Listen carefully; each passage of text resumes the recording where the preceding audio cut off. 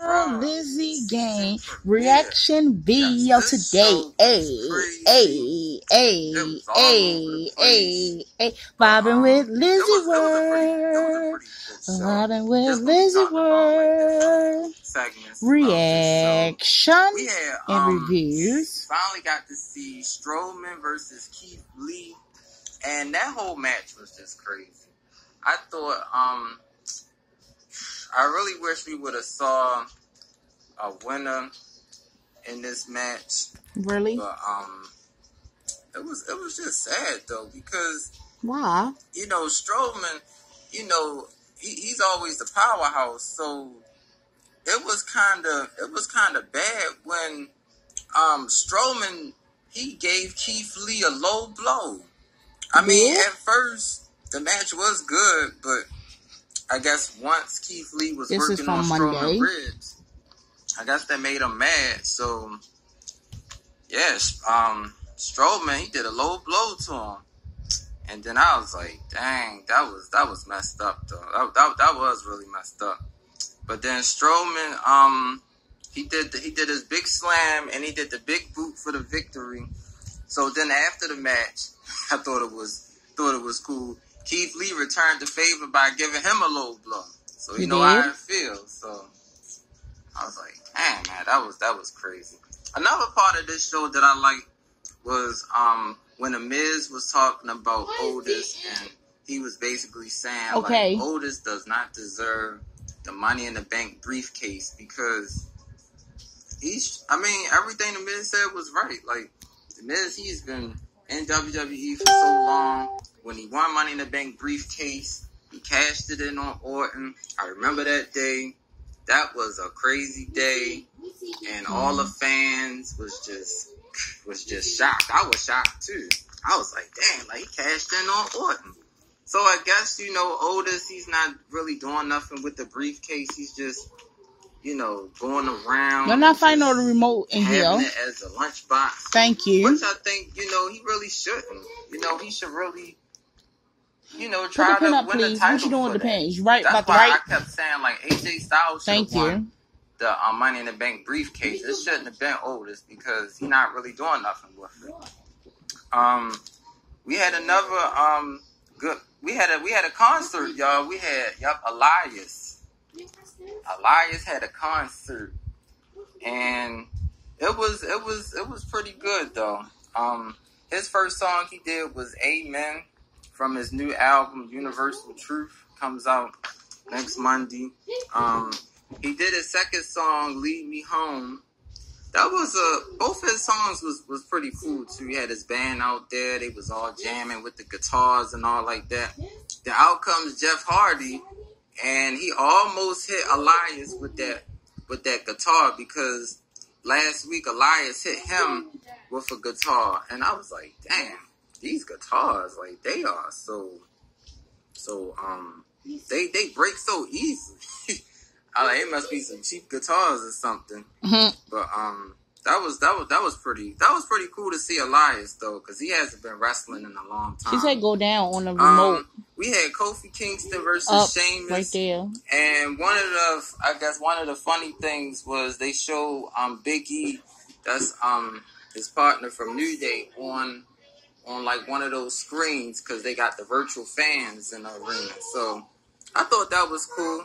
This was a pretty good match though. It I really, was? I just thought that maybe Sheamus would have won because he really do he really do um need this victory since he got drafted on What's Raw. wrong? What's going to win? As Kofi was saying, you know, Sheamus hasn't been on Raw in nine years, so I really thought Give her the remote, please, and let her put on what she want to watch, please, for a second. um, to Thank you. But Kofi came out on top for this victory.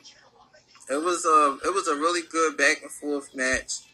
Kofi is still showing why he can hang with everybody, even though he is a part of the tag team champions. But Yes. you know, Kofi was saying the power of positivity is never over. So I was just like, okay, you know, that is true. Kofi and Xavier Woods are the tag team champions until somebody beats them. So that should be very interesting. And also, we will be having Elias versus Jeff Hardy at Hell in the Cell. Right on the back of the be a good paper, sweetie. Well.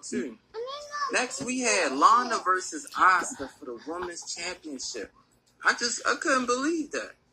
I said, man, like, come on now. Like, Lana, I was like, I would have rather them let them have Lacey Evans. Lacey Evans should Yeah, have won that that last week. But it was Lana. She eliminated The back of Natalya it. when Natalya thought she had everybody pinned. But here we go, y'all, with the Lana and Asuka for the women's championship. Excuse me, my children's in my room. Lana escaped the Asuka lock. The first time she escaped it, she got to the ropes, and the referee was like, "All right, back up, back up." Then Lana started doing these Go. big Good night. Go. Don't do that, please. count. I was like, okay, but then y'all know what happened. Asuka turned it around, doing that, doing that big kick to her. So that really stunned Asuka. But then, um, Os- no, Where's then what? Lana did this big elbow.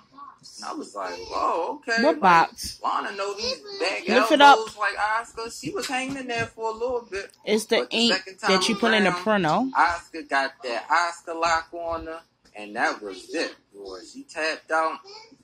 Then, of course, out of nowhere, Nia Jax, she attacks Lana again, y'all, and she puts She Lana did? through a table yet again.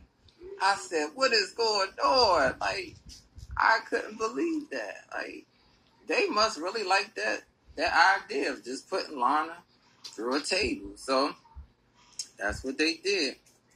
That, that's exactly what they did. So They did. I was like, What else next? Then um Shayna she tried to attack um Asuka, but Asuka knocked her out the ring and she just went on up the stage. I was like, I got Shayna coming for her title as well too. So I said that will be good.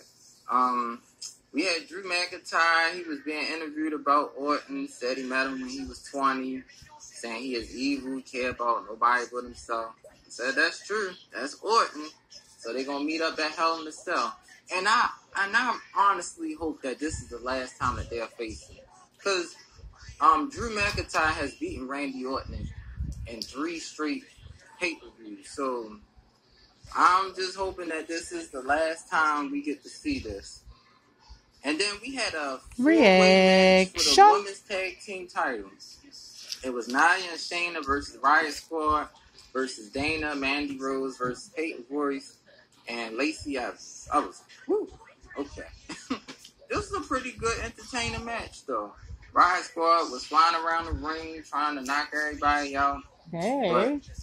You know, um, Nia and Shayna was still dominating, still knocking people out.